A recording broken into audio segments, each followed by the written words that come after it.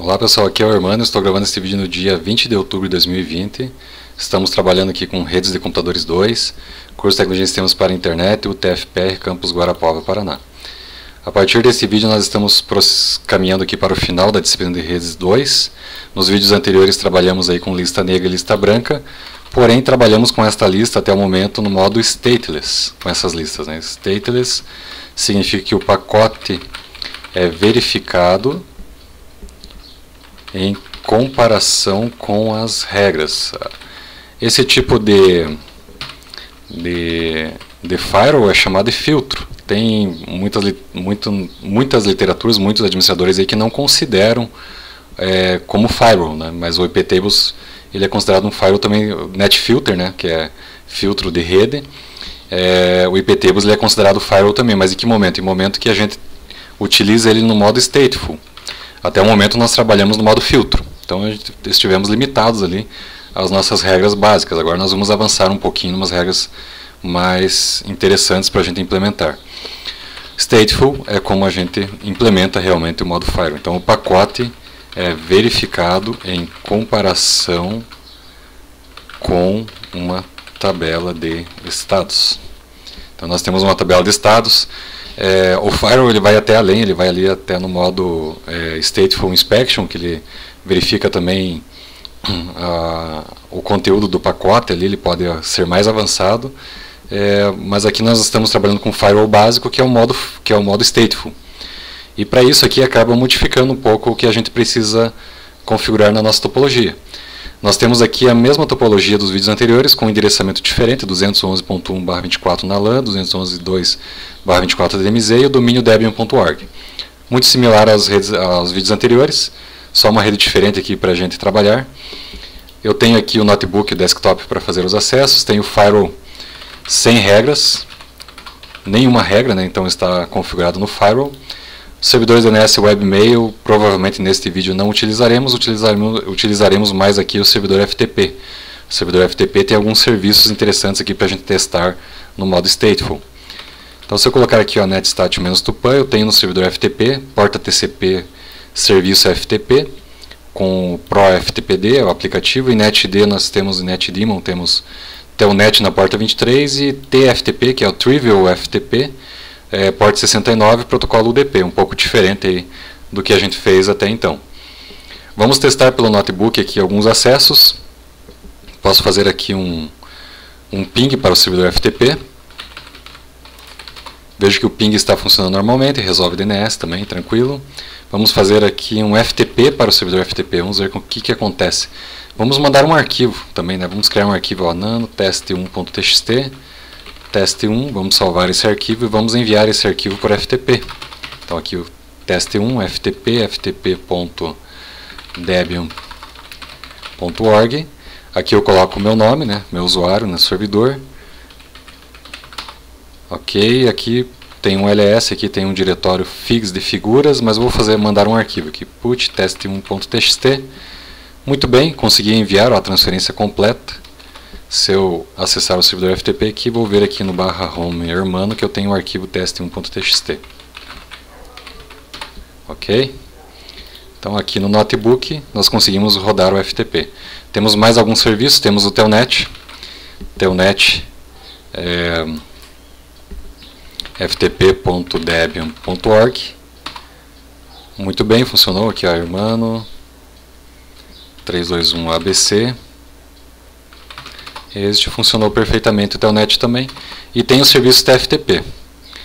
Posso fazer um arquivo, um arquivo nano teste2.txt teste2 com TFTP, Trivial File Transfer Protocol, ele é usado sobre o DP, né?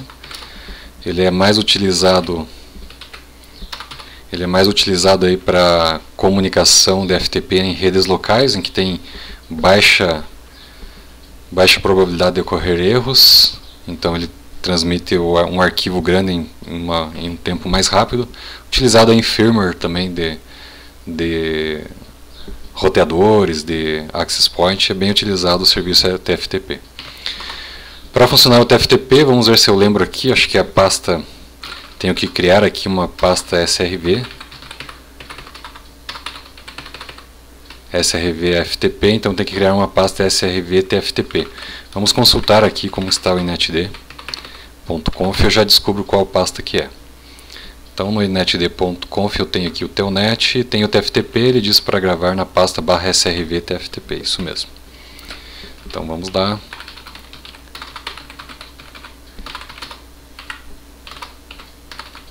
Não tem a pasta, tenho que criar mkdir tftp. Na pasta tftp eu vou criar aqui um arquivo touch test2.txt e nesse test2.txt eu vou dar permissão aqui para gravar nesse arquivo.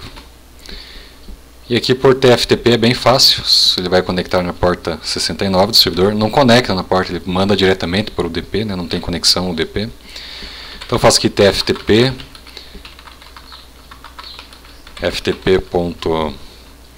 ftp.debian.org e mando o arquivo test2.txt. Mandou 120 bytes, posso conferir aqui no servidor FTP test2.txt está aqui, ó, test2 com TFTP. Essa transmissão foi feita por UDP. Beleza. Então agora no Firewall nós vamos fazer o seguinte. Nós vimos aí que todos os serviços estão ok com entre o notebook e o servidor FTP. É, agora a gente precisa ali, vamos, vamos fazer, vamos fechar totalmente aqui o firewall é, usando um policy padrão. Policy padrão do, do forward aparece como accept. Nós vamos fazer um drop neste caso. Então vamos lá, iptables, para fazer essa configuração do policy, iptables, menos p forward, drop. Eu vou cancelar tudo que vai chegar por aquela, por forward, tudo que for roteado deve ser descartado. Óbvio que se eu fizer começar pelo ping aqui, né, vamos descartar o DNS já, né, a gente bloqueou o DNS também.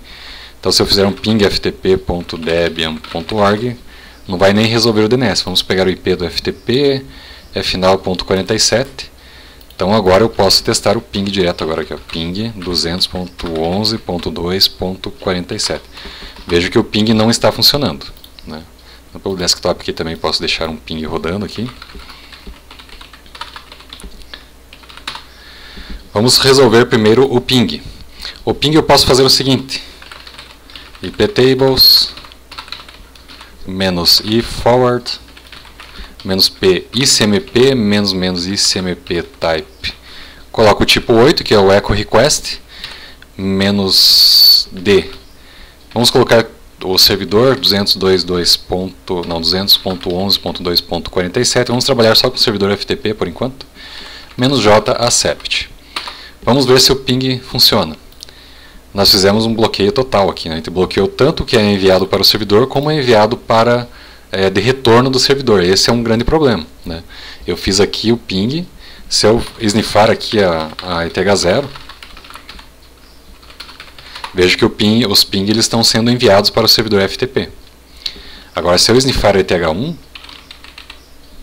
fazer com o NO ETH0, ó, aqui está o SMP Echo Request, e se eu sniffar ETH1, vejam que o Echo Reply está aqui também.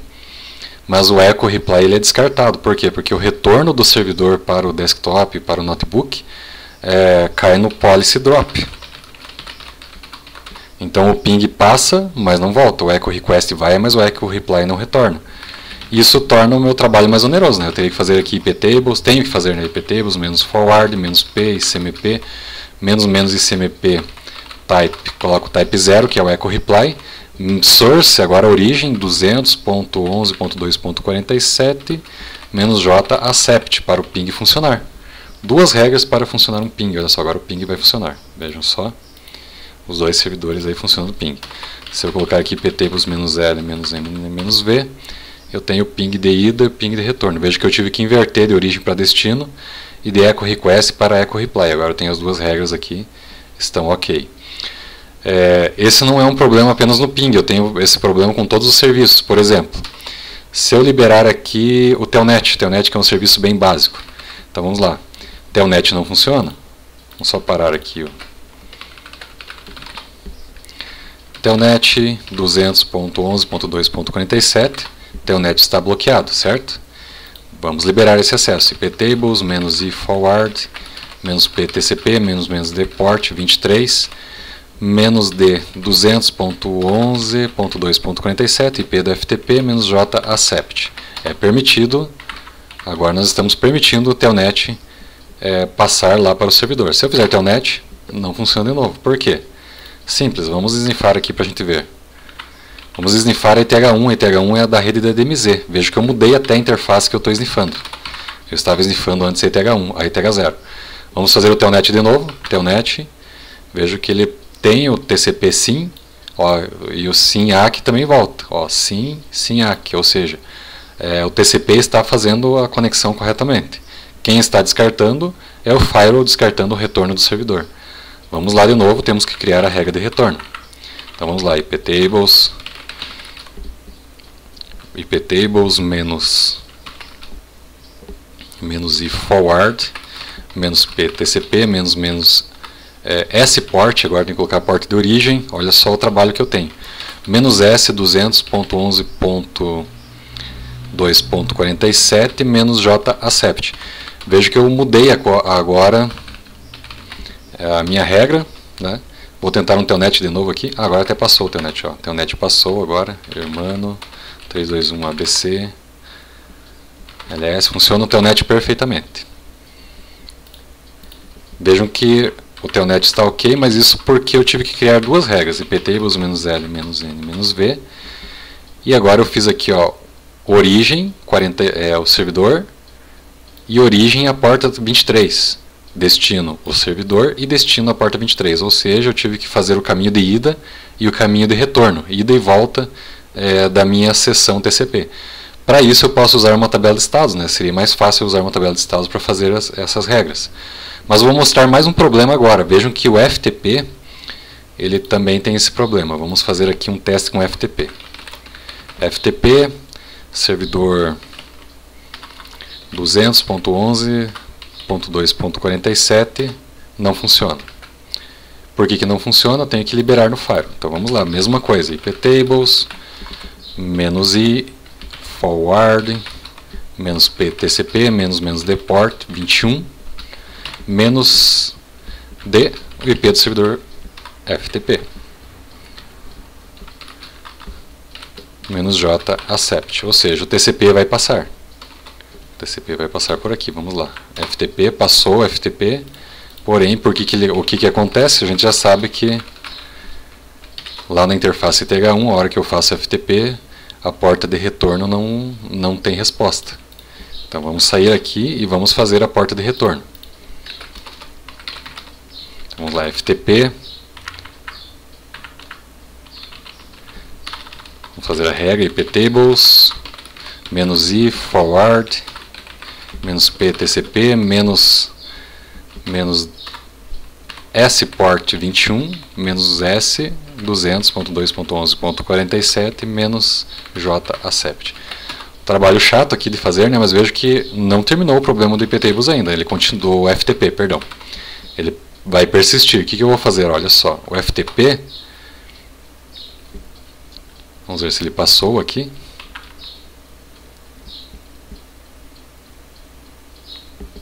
Passou. E agora vamos, vamos ver o que, que é o problema que aconteceu aqui. Ó. Eu tentei fazer igual o Telnet. Que, que que ele, aonde que ele está me barrando? Né, aonde que o, o Firewall está me barrando? Vamos ver aqui. Opa.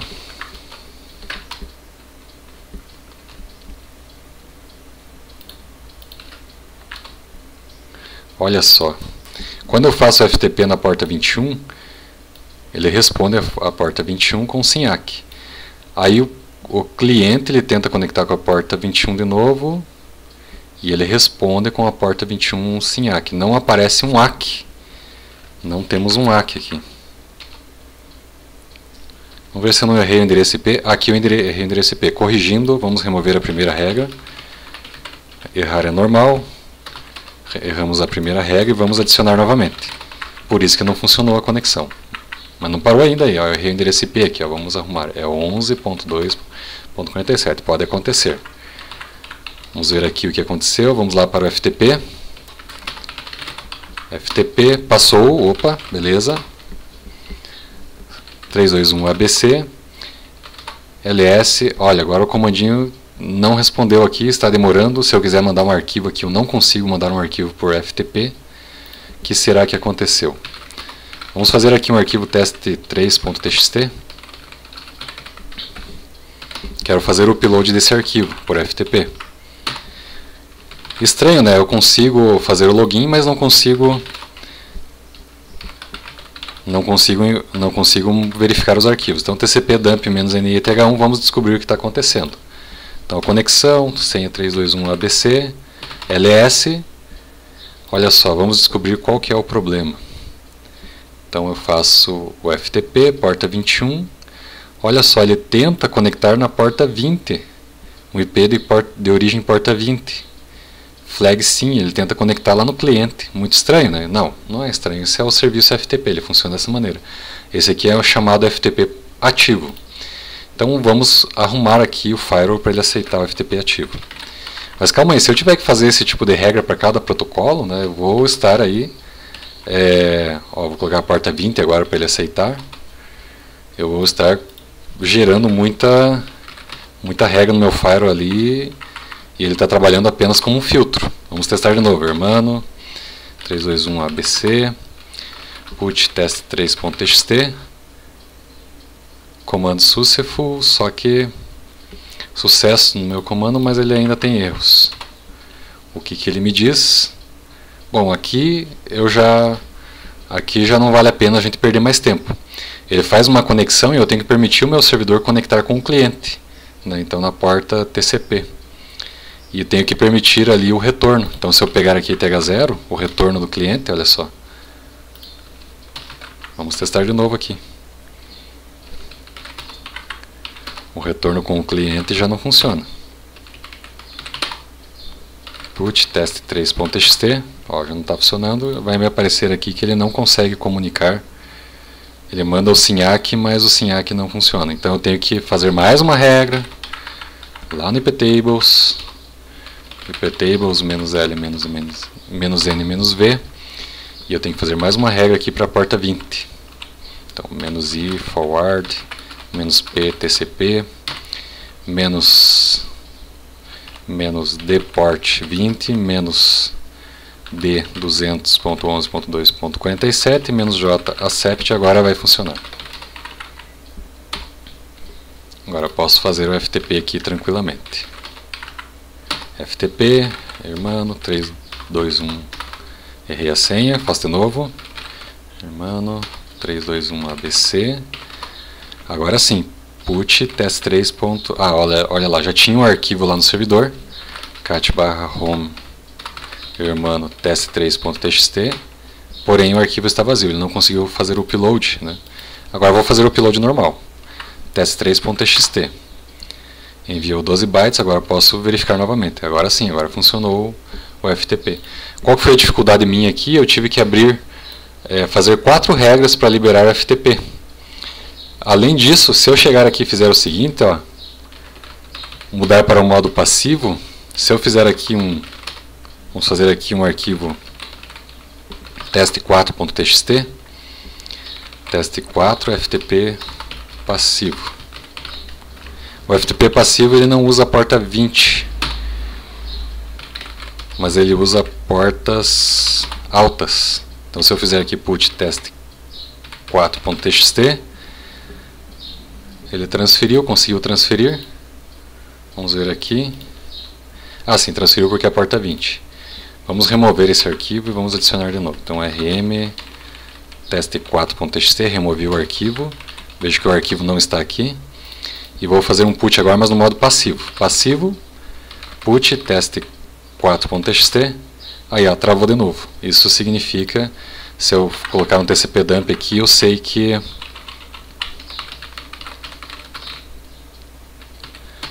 eu sei que o meu servidor aqui ele está trabalhando com, com no modo passivo. Então vamos lá de novo. Vejo que agora ele utiliza portas altas nós vamos pegar aqui uma conexão, por exemplo, TCP da porta 57.328 para 33.225. Ou seja, aí fugiu do nosso padrão, criar uma regra para cada, para cada entrada não, não vale a pena. Então por isso a gente começa a trabalhar agora com firewall de estados, que é o certo. E a gente, o firewall de estados ele tem ali o kernel do iptables sabe qual protocolo está sendo utilizado e ele faz um mapeamento né, de como é, essa comunicação está ocorrendo. Vamos fazer esse firewall de estados agora no próximo vídeo. Obrigado pela atenção, até lá.